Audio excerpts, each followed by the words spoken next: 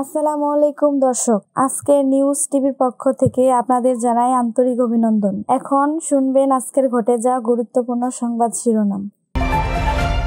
দেশবিরোধী চুক্তি আড়াল করতে ছাগলকাণ্ড জানিয়েছেন রেজবি। আওয়ামী লীগই একমাত্র দল যারা মানুষের আশা আকাঙ্ক্ষা পূরণ করে। চেরকুঠে লেখা, আমি পারছি না এত যন্ত্রণা নিতে ফ্যানের সঙ্গে ঝুলছিল তরুণীর দেহ। এবার সাধারণ সম্পাদকের আপত্তিকর ছবি ও কথোপকথন ভাইরাল থানায় জিডি ভাগাই আওয়ামী লীগের দুই পক্ষের সংঘর্ষের ঘটনা এবার আদালতে মামলা। মুক্ত গণমাধ্যমের কণ্ঠরোধ করছে সরকার, জানিয়েছেন ছাত্রপক্ষ। এতক্ষণ শুনছিলেন সংবাদ শিরোনাম এবার বিস্তারিত। দেশবিরোধী চুক্তি আড়াল করতে ছাগল কাণ্ড জানিয়েছেন রেজবি। বিএনপির সিনিয়র যুগ্ম মহাসচিব রুহুল কবির রেজবি বলেছেন, ভারতের সঙ্গে দেশবিরোধী অসম চুক্তি করেছে সরকার।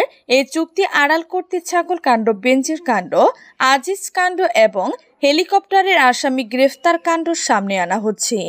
শুক্রবার বিকেলে রাজধানী নয়াপল্টনে বিএনপির কেন্দ্রীয় কার্যালয়ে এক সংবাদ সম্মেলনে তিনি এসব কথা বলেন।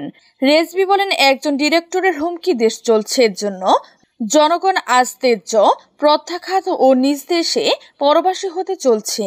গোটা জাতি এখন ভীতি ও শঙ্কার মধ্যে। শ্বাসবায়ু প্রাণ ভরে কেউ গ্রহণ করতে পারছে না, তবে জনগণ চূড়ান্ত বাধা টপকিয়ে বাংলাদেশকে কারও আশ্রিত রাজ্য বানাতে দিবে না। তিনি বলেন, আওয়ামী লীগের সাধারণ সম্পাদক বলেছেন, যারা ভারত বিরোধী তার ইস্যু খুঁজছেন তারা আবার ভুল পথে যাচ্ছেন। ওবায়দুল কাদেরের কথাই ধরে নিতে হবে, আমাদের সার্বভৌমত্ব বিপন্ন করে কেউ বাংলাদেশের ভিতর দিয়ে স্থাপন করে যাবে তারপরে এর বিরোধিতা করলে সেটি ভুল পথ হবে এ ধরনের কথা কেবলমাত্র নতজানু জনগণের ক্ষমতা ছিনতাইকারী দেশবিদ্রোহীদের মুখে সাজে। বাংলাদেশের মধ্যে দিয়ে ভারত রেলপথ নির্মাণ করবে আর সেটি চুপ করে দেখা হবে একাত্তরের শহীদদের রক্তকে অসম্মান করার সামিল। আওয়ামী লীগই একমাত্র দল যারা মানুষের আশা আকাঙ্ক্ষা পূরণ করে। তথ্য সম্প্রচার প্রতিমন্ত্রী মোহাম্মদ আলী আরাফাত স্মার্ট বাংলাদেশ করতে নতুন প্রজন্মকে আওয়ামী লীগের সঙ্গে সম্পর্কিত হওয়ার আহ্বান জানিয়েছেন। তিনি বলেন, আওয়ামী লীগই একমাত্র দল যারা বাংলাদেশের মানুষের আশা, আকাঙ্ক্ষা পূরণ করে। রাজধানী তেজগাঁয়ে ঢাকা জেলা আওয়ামী লীগ কার্যালয়ে আয়োজিত ইতিহাসের গতিধারায় বঙ্গবন্ধু থেকে শেখ হাসিনার শীর্ষক সংবাদচিত্র প্রদর্শনী পরিদর্শন শেষে সাংবাদিকদের সঙ্গে আলাপকালে আরাফাত এ কথাগুলো বলেন, আওয়ামী লীগের পঁচাত্তরতম প্রতিষ্ঠা বার্ষিক উপলক্ষে ঢাকা জেলা আওয়ামী লীগ এই প্রদর্শনীর আয়োজন করে। তথ্য প্রতিমন্ত্রী বলেন, স্মার্ট ওয়ার্ল্ডের সামনে স্মার্ট বাংলাদেশ গড়তে আমরা স্মার্ট আওয়ামী লীগ গড়তে চাই। সেজন্য আমি নতুন প্রজন্মকে স্মার্ট বাংলাদেশ গড়তে আওয়ামী লীগের সঙ্গে যুক্ত হওয়ার জন্য আহ্বান জানাচ্ছি। আওয়ামী লীগের গৌরবময় ইতিহাস তুলে ধরে প্রতিমন্ত্রী বলেন, বাংলাদেশ আওয়ামী লীগ দক্ষিণ এশিয়ার সমৃদ্ধ ইতিহাস ও ঐতিহ্যের অন্যতম বৃহত্তর রাজনৈতিক দল। তিনি বলেন, দেশের স্বাধীনতা ও সার্বভৌমত্ব অর্জনের প্রতিটি গণতান্ত্রিক আন্দোলন ও সংগ্রামে নেতৃত্ব দিতে আওয়ামী লীগের গৌরবময় ভূমিকা রয়েছে। চিরকুটে লেখা, আমি পারছি না এত যন্ত্রণা নিতে ফ্যানের সঙ্গে ঝুলছিল তরুণীর দেহ। চট্টগ্রামের পটিয়ায় ফ্যানের সঙ্গে গলায় ফাঁস লাগানো অবস্থায় উদ্ধার করে হাসপাতালে নেওয়ার পর এক তরুণীর মৃত্যু হয়েছে। তার নাম রিমা আক্তার বিশ। তিনি উপজেলার হাইদগাঁও ইউনিয়নে হীরা গাজী তালুকদার বাড়ির বাসিন্দা। গতকাল বৃহস্পতিবার দুপুরে ঘটনা ঘটে। পটিয়া সরকারি কলেজের স্নাতক প্রথম বর্ষের ছাত্রী ছিলেন রিমা। আজ শুক্রবার রিমা আক্তারের বিয়ে এবং গতকাল গায়ের হলুদের সময় নির্ধারণ করা ছিল। বিয়ে উপলক্ষে গতকাল সকাল থেকে বাড়িতে সাত সজ্জার সহ প্রস্তুতিও শুরু হয়। রিমার বোন রুমি আক্তার বলেন, বেলা এগারোটার দিকে রিমা বর মুর্শেদুল রহমানের সঙ্গে মুঠোফোনে কথা বলেন। এ সময় মুর্শেদদের পরিবার থেকে আসবাবপত্র, যৌতুক চার বিষয়ে দুজনের ঝগড়া হয়।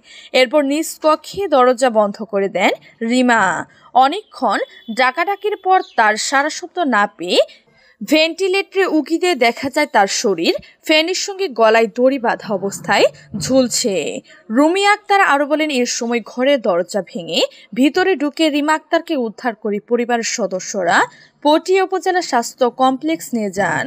সেখান থেকে উন্নত চিকিৎসার জন্য তাকে চট্টগ্রাম মেডিকেল কলেজ হাসপাতালে পাঠানো হয়। সেখানে ভর্তির প্রায় এক ঘণ্টা পর রিমা মারা যান।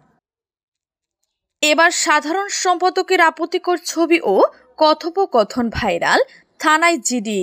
কিশোরগঞ্জ জেলা ছাত্রলীগের সভাপতি মোহাম্মদ আনোয়ারুল হোসেনের বিরুদ্ধে পর্নোগ্রাফি আইনে মামলা সহ নানা ঘটনার পর এবার জেলা ছাত্রলীগের সাধারণ সম্পাদক মোহাম্মদ ফয়েজ উমান খানের আপত্তিকর ছবি ও ফেসবুক মেসেঞ্জারে কথোপকথনের ছবি সামাজিক যোগাযোগ মাধ্যমে ছড়িয়ে পড়েছে।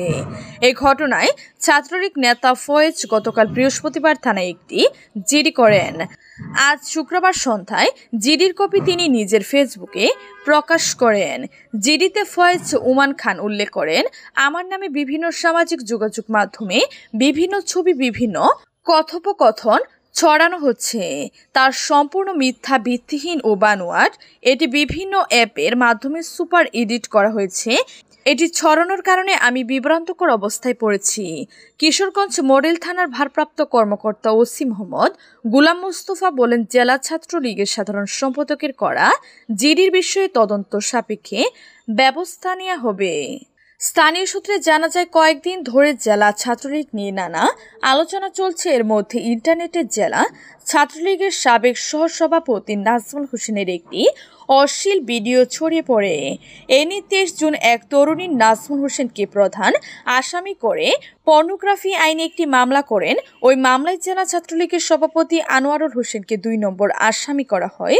নাজমুল সম্পর্কে আনোয়ারের ভাগ্নে উদ্বৃত্ত পরিস্থিতি ও নানা অভিযোগের বিষয়ে কেন্দ্রীয় ছাত্রলীগের দৃষ্টিগোচর হলে গত বুধবার বিকেলে কেন্দ্রীয় ছাত্রলীগের দুই সাংগঠনিক সম্পাদক মোহাম্মদ হুসাইন আহমেদ ও কাজল দাসকে দায়িত্ব দিয়ে তদন্ত কমিটি গঠন করা হয়। তদন্ত কমিটিকে আগামী দশ দিনের মধ্যে কেন্দ্রে প্রতিবেদন জমা দিতে বলা হয়। এর মধ্যে জেলা ছাত্রলীগের সাধারণ সম্পাদক মোহাম্মদ ফয়েজ জুমান খানের ছবিও কথোপকথন, সদৃশ্য কিছু ছবি সামাজিক যোগাযোগ মাধ্যমে ছড়িয়ে পড়ে।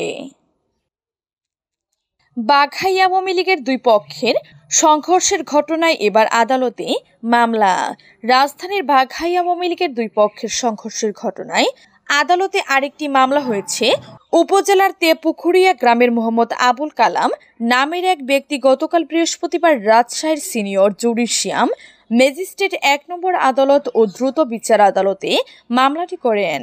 এতে বাঘাদলির লেখক সমিতির সভাপতি ও সাধারণ সম্পাদক সহ বত্রিশ জনের নাম উল্লেখ করে অজ্ঞাত নামা আরও একশো থেকে একশো পঞ্চাশ জনকে অজ্ঞাত আসামি করা হয়েছে। বাদীপক্ষের আইনজীবী জিয়া রহমান মামলার তথ্য নিশ্চিত করেছেন। তিনি প্রথম আলোকে বলেন, আদালতের বিচারক হাদিউজ্জামান মামলাটি আমলে নিয়ে আদালত বাঘা থানার ওসিকে এজাহার হিসেবে রেকর্ড করার নির্দেশ দিয়েছেন। দুই সালের আইন শৃঙ্খলা বিঘ্নকারী অপরাধ দ্রুত বিচার আইনে মামলা হয়েছে। মুক্ত গণমাধ্যমের কণ্ঠরোধ করছে সরকার, জানিয়েছেন ছাত্রপক্ষ। বাংলাদেশ ছাত্রপক্ষের নেতারা অভিযোগ করেছেন, সরকার প্রতিনিয়ত গণতান্ত্রিক মূল্যবোধ ধ্বংস করছে গণমাধ্যম সমাজের দর্পণ হওয়ার কথা থাকলে মুক্ত গণমাধ্যমের কণ্ঠরোধ করছে সরকার। সংগঠনের প্রথম প্রতিষ্ঠা বার্ষিক উপলক্ষে শুক্রবার বিকেলে রাজধানীর বিজয়নগরে নিজেদের কেন্দ্রীয় কার্যালয়ে এক অনুষ্ঠানের আয়োজন করে ছাত্রপক্ষ। সেখানে সংগঠনটির শোভানুধায়ী উপদেষ্টা ও সদস্যরা উপস্থিত ছিলেন। অনুষ্ঠানে প্রধান অতিথির বক্তব্য দেন বিএনপির চেয়ারপারসনের উপদেষ্টা হাবিবুর রহমান অন্যদের মধ্যে বক্তব্য দেন ছাত্রপক্ষের তত্ত্বাবধায়ক ও এবি পার্টির সদস্য সচিব মজিবুর রহমান। সংগঠনের প্রধান উপদেষ্টা আসাদুজ্জামান, ছাত্রপক্ষের আহ্বায়ক মোহাম্মদ প্রিন্স ও সদস্য সচিব আশরাফুল ইসলাম প্রমুখ। বক্তৃতায় বিএনপির চেয়ারপারসনের উপদেষ্টা হাবিবুর রহমান বলেন, সরকার প্রতিনিয়ত গণতান্ত্রিক মূল্যবোধ ধ্বংস করছে। গণমাধ্যম সমাজের দর্পণ হওয়ার কথা থাকলে মুক্ত গণমাধ্যমের কণ্ঠরোধ করছে সরকার। ক্ষমতাসীন দলের ছাত্র সংগঠন আধিপত্য ও সন্ত্রাসী কার্যকলাপের মাধ্যমে দেশের শিক্ষাঙ্গনের শিক্ষার পরিবেশ নষ্ট করছে বলে অভিযোগ করেছেন মজিবুর রহমান। বক্ততায় ছাত্রপক্ষের নেতাদের উদ্দেশ্যে আসাদুজ্জামান বলেন, নতুন প্রজন্ম রাজনীতিমুখী হচ্ছে, এটি একটি বড় পরিবর্তন। প্রসঙ্গত, বাংলাদেশ ছাত্রপক্ষ আমার বাংলাদেশ পার্টির একটি অঙ্গ সংগঠন।